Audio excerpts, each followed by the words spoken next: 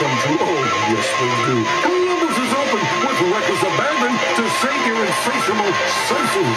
Columbus, that little neighborhood place you wish was down the street from you. Columbus, bend. Everybody. It's Peter Dills. If you've been following me here on the radio, you know I love those hidden restaurants, the unexpected gems. Recently, I discovered an unexpected gem in my beer aisle at the local supermarket, Sapporo Beer. Yes, the beer that made sushi famous also goes great with steaks, chops, and even pizza. So make it a Sapporo Beer for your next tailgate party or backyard barbecue. Sapporo Beer, where East meets West. Sapporo Beer reminds you to drink responsibly. Longo Lexus is California's premier Lexus dealer with amazing deals on over 800 new and pre-owned Lexus vehicles. Longo Lexus is the number one Lexus dealer in the Western area since 1990. 30 years of great people, great products, great service. Visit us today at longolexus.com. So there I am, stuck at home for what felt like an eternity. But you know what? I put that time to good use, like by cleaning my grill, sweeping my patio, and getting ready to finally get the old gang back together again for some summer barbecue fun. Because that's what the best hostesses do. They prepare.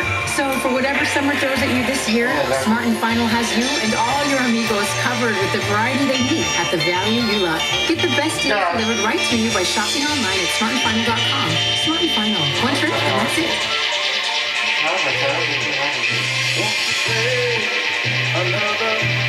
All right, everybody, we're back from the break. It's Big Bills Go Country 105. It's Sunday morning. It's about 20 after 8 or uh, close to it. Hope everybody's having a Sunday, great Sunday. What are you doing today? What's happening? What are you guys going to do?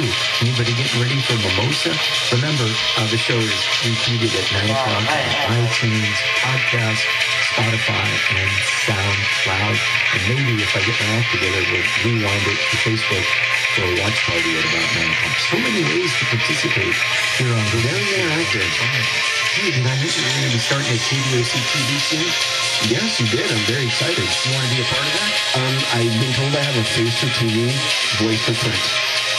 Okay, you were in the Army. Marine Corps. You were in the Marine Corps. Exactly. You're in the, oh no, Marine Corps. Uh, Gene Simmons sang a great song in the Marine Corps, for the Marine Corps one time. Were you with me when he was on the show? Yeah, yeah, I got him on. I was producing with. Okay, speaking of the military, MASH, the MASH unit in South Korea, oh, South Korea. Anyway, there was a great cast of characters, and one of them is now my friend. His name is Jeff Maxwell, and he's on the air with us right now. Jeff, are you there? He is with you. He is with you. He's very, very with you. Hi, Peter. Jeff Maxwell. Now, what's the difference between a private and a first class private? Is there anything or what? I haven't the slightest idea, to be honest with you. I was just telling Turtle. I was just I telling Turtle. don't know. Ask Is there? him. Uh, forgive me. Is there a, a military, a actual military person there with you? Yes, yes. Turtle is. Turtle was in the uh, Marines. Yeah. Hey, well, thank you for your service. Cool, man. So, what's the difference between a first class and No. a private? Uh, you know, well, well, private's just a private, and a PFC is a professional floor cleaner in the Marine Corps. private first class, private Right. first class. But That's what I was getting at. Right. Because you get another stripe. Right. Well, you get your first stripe. You get your first stripe. Yeah. Oh, so when you're just a private, you have no You have stripes. nothing, no stripes. Okay, you're correct. That's what the deal was last night when I was watching the show on KDOC, Me TV, one of those stations. Jeff Maxwell. I just been on the show before. He's actually a pretty good guest. Once I start stop talking and let him Yeah. participate. Okay. Um, he, he, also, do you remember the movie uh, Kentucky Fried movie? Yeah. Yeah, yeah, yeah, Jeff Maxwell. That, we've got a few people here at Columbus, uh, Jeff, here in the morning, Sunday morning, and uh, maybe we'll, we'll get some crowd noise when we got a, yeah, woo, hey, we got 68 people. If we go for 69, the, the higher occupancy.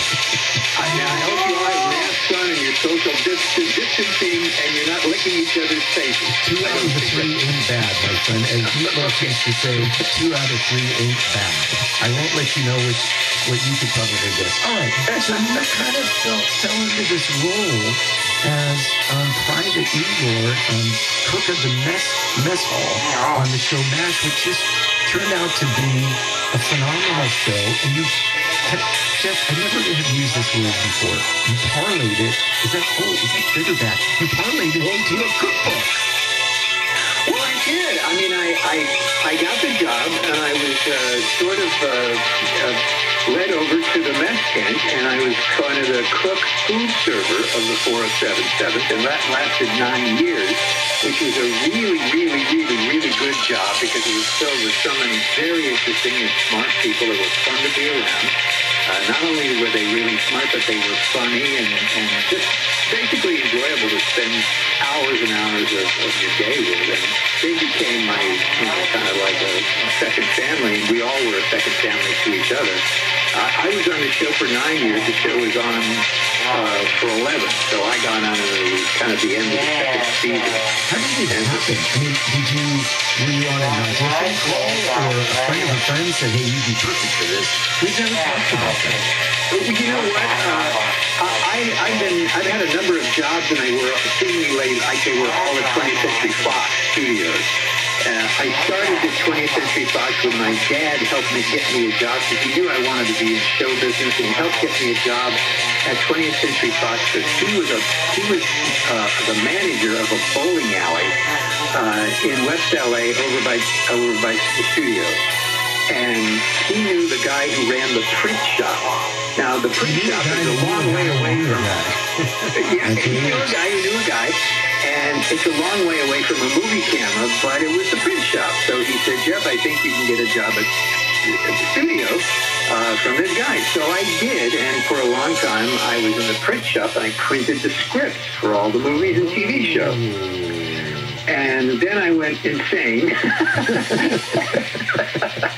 and I got a job as the Xerox operator in the executive building where all the producers were.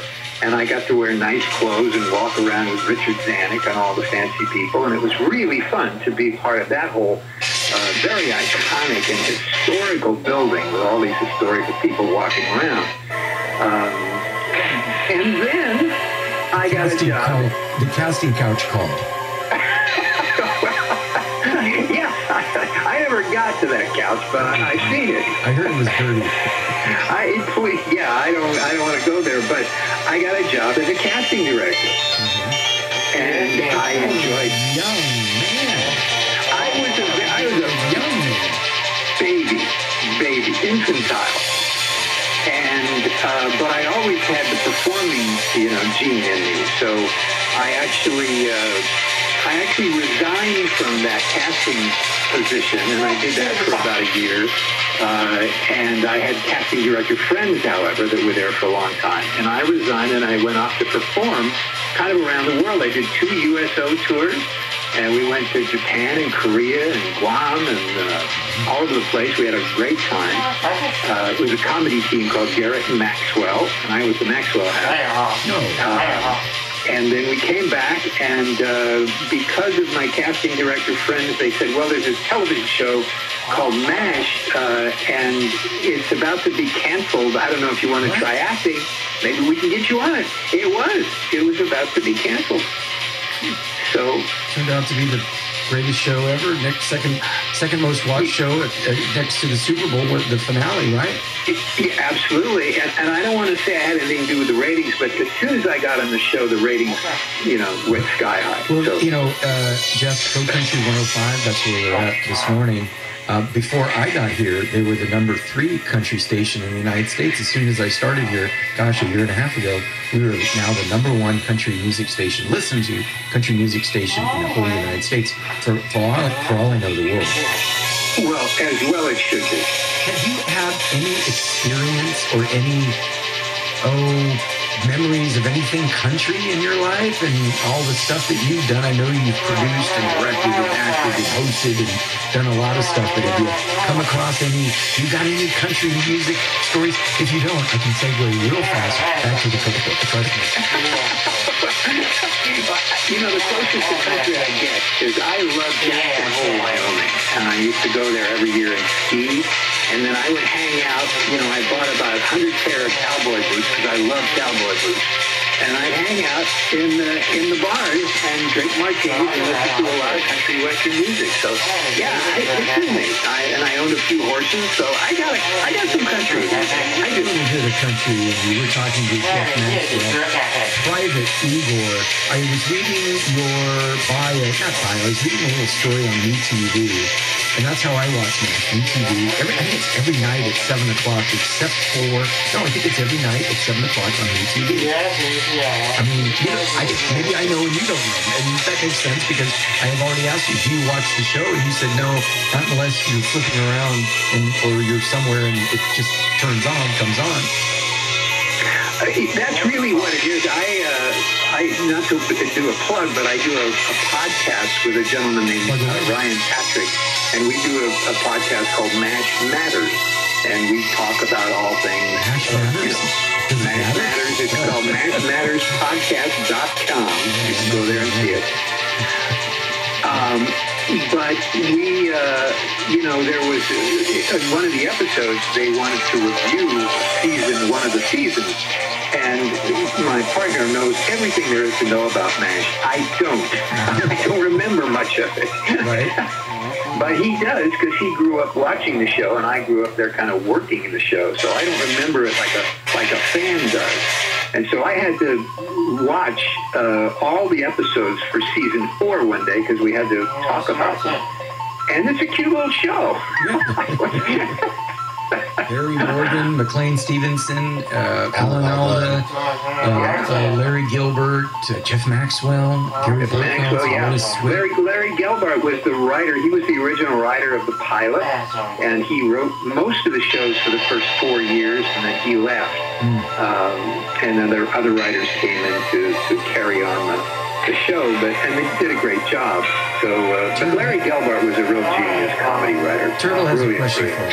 for you. Well, uh, it, it's it's a little bit of a question, uh, but at the same time, um, I guarded a field hospital in the Marine Corps during the uh, Second Iraq uh, War, and uh, I always thought of MASH just because.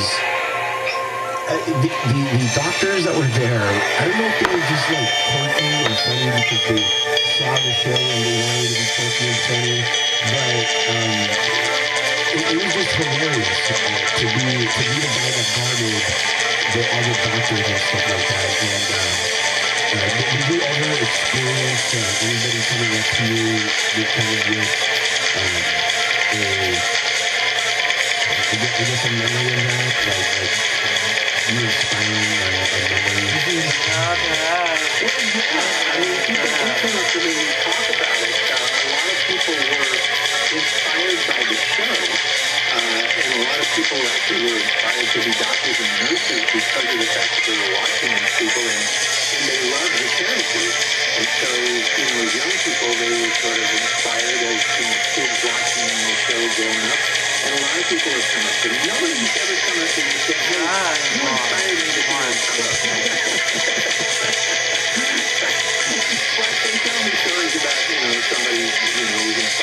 to or something. So show is very impactful to a lot of people. And I didn't really know that anyway